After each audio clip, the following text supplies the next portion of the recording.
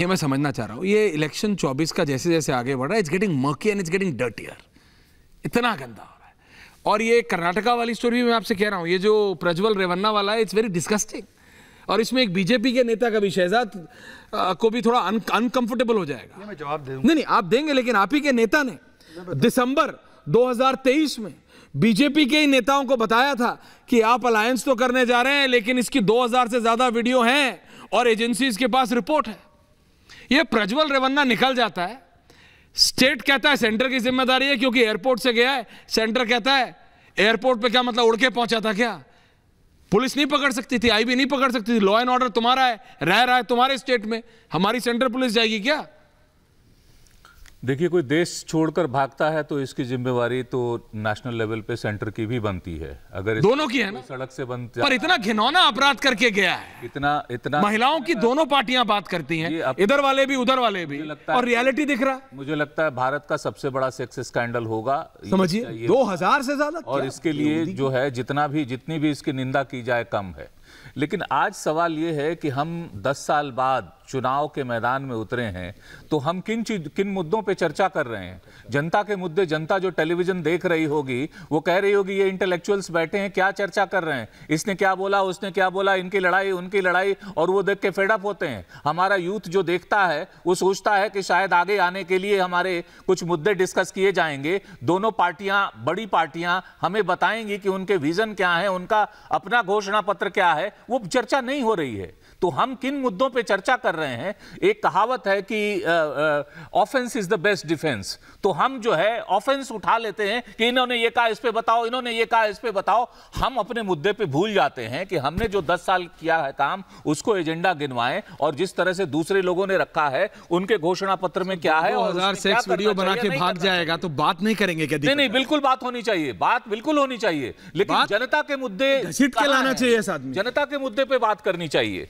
उन पे यहाँ पर ये बात कहना चाहूँगा बीजेपी और कांग्रेस दोनों बराबर की जिम्मेदार है बिल्कुल, मैं इस बात से सहमत हूँ। जानते हुए अलायंस किया कि ऐसा कुछ है इनके स्टेट यूनिट के चीफ को वहाँ के लोकल एमएलए ने लिख के दिया ऑन रिकॉर्ड है। सार्वजनिक बात है उन्होंने ये बात कही है और नॉलेज में इनके भी था। और जो सीनियर रेवन्ना है वो ये कहते हैं कि भाई ये तो 1999 से 2000 Coming, शहजाद, का. मामला है। और तब जो है जेडीएस और कांग्रेस का भी अलायंस रहा बीजेपी और जेडीएस का अलायंस अब है। तो मेरे ख्याल से दोनों बराबर के हिस्सेदार हैं। देखिए हमाम में सब बराबर हैं। शहजाद और जरा रत्नाकर जी को भी ले आइए। हाँ शहजाद जी बोलिए। लाग लपेट के कुछ बयान देना चाहता हूँ। पहले तो मैं बिना शर्त इसका खंडन करता हूँ और मुझे लगता है ये डिस्गस्टिंग है और ऐसे व्यक्ति को कोई जगह नहीं होनी चाहिए। इसलिए उनकी पार्टी ने भी उनको सस्पेंड किया है हमारी पार्टी से नहीं है।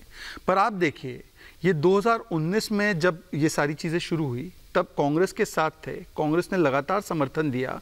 कांग्रेस के पास तीन महीने से वीडियो था। अब कांग्रेस अगर तीन महीने पहले ही एफआईआर करके उसको पकड़ लेती तो ना वो बाहर जाता, ना वो देश के बाहर जाता। पर एक सवाल, इस पर हमने तो कार्रवाई की, पार्टी से सस्पेंड किया, उस पर कानूनी कार्रवाई कांग्रेस करे, कर्नाटक की सरकार है संदेश खाली पर तो सुप्रीम कोर्ट का कल फैसला आया, उस पर क्या? और इसके अलावा मैं सिर्फ़ एक वाक्य और जोड़ना चाहता हूँ एक लाल सिंह नाम का व्यक्ति है जिसने आठ साल की आसिफा के बलात्कारी का बचाव किया। उसको प्रियंका जी ने बुलाकर टिकट दिया। आपने बोला इस पे मैं आपके साथ खड़ा हूँ। मणिपुर पे हमने पार्लियामेंट में चर्चा की ब्रिजभूषण पे हमने कार्रवाई की। अब आप बता दीजिए मुझे कि आपने लाल सिंह पर क्या कार्रवाई की आपने संदेश खाली पर क्या कार्रवाई की आपने शांति धारीवाल ने कहा मर्दों का प्रदेश है इसलिए बलात्कार होता है तो फिर भी उसको टिकट बुलाकर दे दिया। इसमें से एक अधिकृत रूप से खंडन किया गया। मैं तो ईमानदारी जी, से जवाब दीजिए। हमारी ये भी गलती रही कि उसने वो टिकट लेकर चुनाव लड़ा पहले ही कार्रवाई हो जाती तो स्थिति नहीं निभानी होती। हम उस पर कार्रवाई चाहते आप बताइए। त्रिपाठी जी। संदेश खाली पर बताइए। किसने बोला? प्रियंका ने? जी जी जी। भाई ब्रिजभूषण सिंह पे इन्होंने क्या कार्रवाई की पूरा देश देख रहा है। एक सेकंड के लिए ब्रिजभूषण सिंह थाने भी नहीं जा पाए। कुलदीप सिंह सेंगर चंपी वालिस वाले स्वामी जी अब प्रज्वल रवन्ना दीपक चौरसिया जी इतने सीरियस थे दीपक जी को लाइए और उधर से पंकज जी को लाइए, तो रवन्ना वो बोल रहे थे। उनको प्रज्वल उज्जवल का अंतर नहीं समझा। हाँ वो बोलेंगे तो वो बहुत सीरियस थे। और जहाँ तक सुन लीजिए हाँ बोलिए बोलिए। मणि मणिपुर की जैसा देखिए, लाल सिंह पे बोलिए ना, आपने सर। डिबेट मैं किया तो सारे कार्रवाई विषय की। देखिए, आज एक- तक एक- आपने बोला वो चुप मिनिस्टर नहीं हटाया। हाँ बोलिए। अब देखिए फिर बोलना बोलिए बोलिए बोलिए। मैंने बोला मैंने सब एक एक करके हाँ। तो माननीय नहीं नहीं जो आप ये पूछना चाहते हैं सर जब देश छोड़ के भागा जैसे पांडे जी ने कहा यह पहली घटना नहीं है। मेहुल चौकसी नरेंद्र मोदी जब भागे तो उन्होंने तीन हफ़्ते पहले शांति धारीवाल भारत के विदेश मंत्रालय में एप्लीकेशन डाल दी कि हम नागरिकता होंगी। छोड़ रहे एक सेकंड शहजाद शहजाद मैंने तो फिर बोला आपने। शहजाद ठीक है वो नहीं दे रहे तो जनता को डिसाइड शहजाद जी शहजाद जी।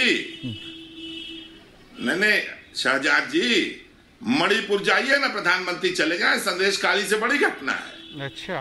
जितना बोल रहे थे, बड़ी विभूषण घटना अब बड़ी छोटी करना शुरू कर दी जनता देख रही है कुलदीप सिंह सेंगर के समर्थन में भाजपा अरे बात सुनो यार शहजाद अभी तो बोल रहे थे बीच में नहीं बोलता हूँ।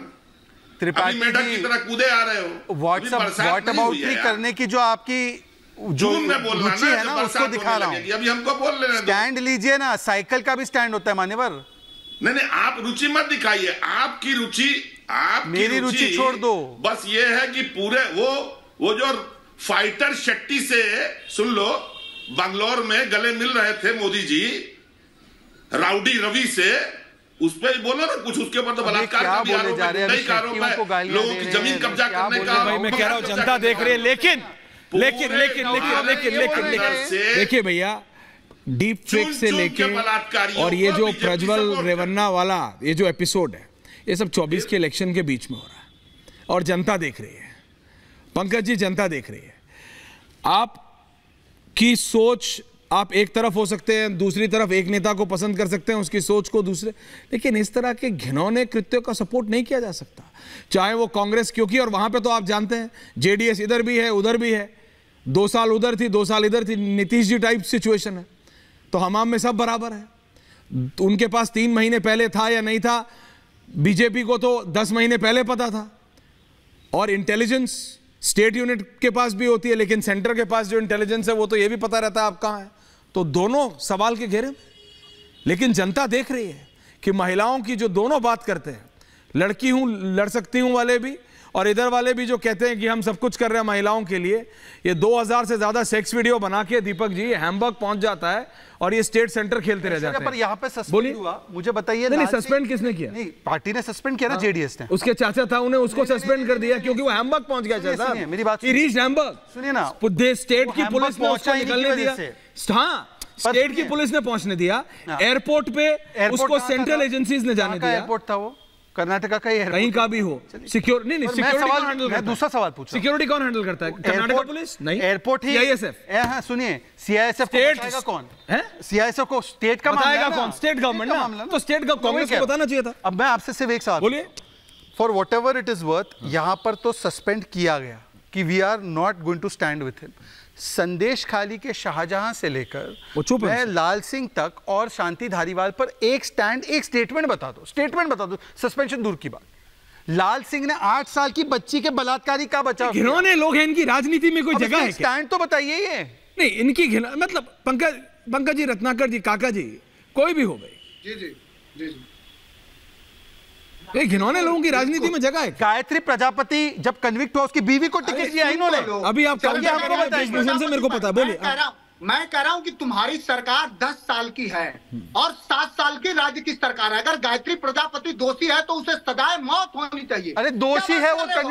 क्या बोल रहे हैं इनको पता लेकिन नहीं। प्रज्वल रमन्ना पर प्रज्वल रमन्ना पर जो प्रधानमंत्री जो देश के प्रधानमंत्री हैं अभी विगत कुछ ही दिनों पहले उसको इस देश की सदन में भेजने का लोगों से आह्वान कर रहे हैं मैं नरेंद्र मोदी जी उनको सदन में केवल सिद्धरमैया ने भेजा। कि वो कब कब कब वो माफ़ी मांगेंगे देश की बहन बेटियों को कि एक बलात्कारी के लिए वो रैलियाँ कर रहे थे और आह्वान कर रहे थे कि उसको देश की सदन में भेजा जाए इसी तरह देश में जो भी बलात्कारी हो जो हो उसके पक्ष में भारतीय जनता पार्टी और चिन्मयानंद के पक्ष में खड़े हो जाते हो। लाल सिंह पे कोई स्टैंड लीजिएगा। संदेश खाली पर नेहा हीरे मत के हत्यारे पर। खाली को भी। अच्छा अच्छा आप समझा। शाहजहां और फयाज पे नहीं बोल क्यों रहते हो? सकते रेवन्ना पे बोल सकते हैं फयाज पे नहीं बोल सकते। आप समझ रहे हैं। अब समझा मनोज जी समझ गया मैं। शाहजहां और फयाज पे नहीं बोला जा सकता। ओहो। समझा मैं। रिलैक्स एंडिंग कमेंट्स समझा एवरीवन नहीं नहीं फयाज देखिए शाहजहां पर नहीं देखिए मैं सिर्फ़ केवल रेवन्ना पे बोलेंगे। मैंने आज इसीलिए